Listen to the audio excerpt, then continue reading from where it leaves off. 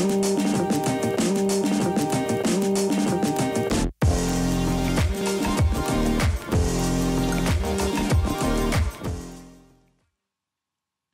there guys, it's Tom from Satori Graphics back again with another tutorial. Today I'm going to outline and go through what I deem to be three immensely helpful tips regarding logo design. I myself have a vast experience with logo and brand design. If you want to visit my portfolio website, you can have a browse and look at some of my past work. I have a vast experience in this field, so check it out. So, logo designing. There are some things that you simply will not learn at college or university, and in my personal experience, understanding how to design the corporate identity to a client is something you might pick up along the way. The first point I'm going to make may be obvious to some of you, but others overlook this for sure, and I myself did not get this until I had actually finished going through my education in graphic design. I'm referring to vectors. I have an entire video on vectors which you can watch by clicking the card in the corner of the screen. Let me start by saying that you must, must, must, must design every logo in a vector format. This is for mainly two reasons. Firstly, it's flexible. A vector file can be saved to many common file formats, JPEG, PNG, GIF, etc. The second point is that a vector file can be scaled up and down to any size, any size whilst retaining crisp quality. That is because it does not use square pixels to create the shape, but rather uses mathematical points, lines, and curves. If you see this image, you can clearly see how the same design would look scaled up both as a vector and a raster image. So that briefly outlines why you should only use vectors for designing a client logo. Moving on now to my second tip, which is something I'm very passionate about. As you may know, there are websites out there that allow freelancers to find easy work. I myself did actually start working on one of these sites a few years ago. However, there are many bad designers out there who use them. There are people who claim to be able to design quote unquote professional logos in under a day, I cannot emphasize enough just how important the design process is, especially when designing a logo or a brand. Many of the top tier brand agencies will actually spend weeks and sometimes months on one logo design. If you see here, this designer has spent several weeks on research alone. Why is the design process so important, you ask? Well, it is crucial to give both time and effort because it allows your creative juices to flow.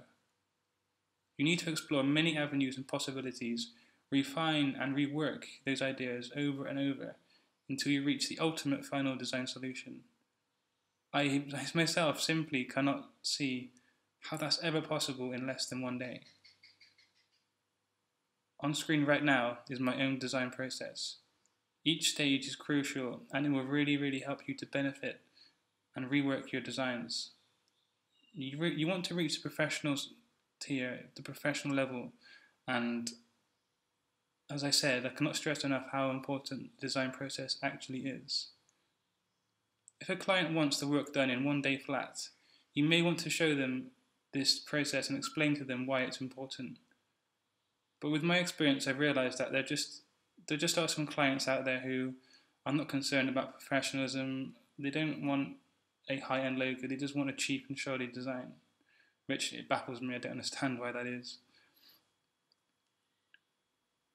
Here are some images of not my work, but examples of people brainstorming and generating initial ideas on paper. Of course, they don't have to be neat. And as the teachers in math class always used to, used to say, show your working, kids, show your working but it helps to really generate amazing ideas if you give the project more time and effort. Here is a logo that a designer has run through the process, and as you can see, the entire development, and it's it's paid off. It's a really it's a really great logo. For my third and final point, I want to quickly go through file formats and what you should be using to export your logo designs to your clients. Here is my Satori logo, in grayscale. And first of all, I'm going to show you how to save to Adobe Illustrator file, native file. Now this is going to basically send your logo to a client and they can only open it in Adobe Illustrator. Now they will need this to send to other designers if they're designing a business card or need to make modifications. So you just go to File, Save As, Adobe Illustrator AI, and save.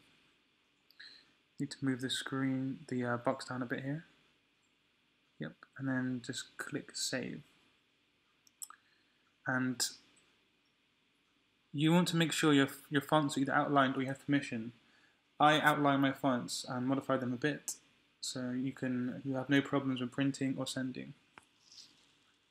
Now, if you go to Save As and go to EPS, this will this will be for print only. It's mainly used for print actually. It's very rarely used for web. And if you go to transparent here, you will save the logo with no background. And again, check for fonts and outlining typeface issues. Now, if you want to save the logo for web, obviously go to File, Save As, Save for Web, and we go select PNG here. You can see the background is uh, is transparent, so there's no background basically. And you want to click transparency for that and check your values here and click Save. And of course the destination. And bring it up again here.